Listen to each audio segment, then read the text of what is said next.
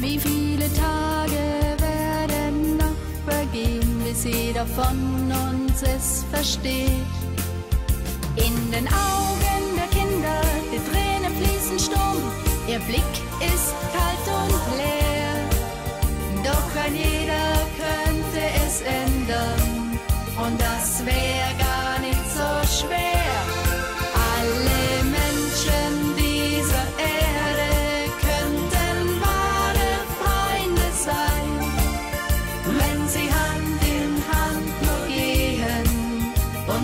zueinander stehen. Alle Menschen dieser Erde könnten wahre Freunde sein und sie würden sich verstehen, denn die Herzen schlagen gleich.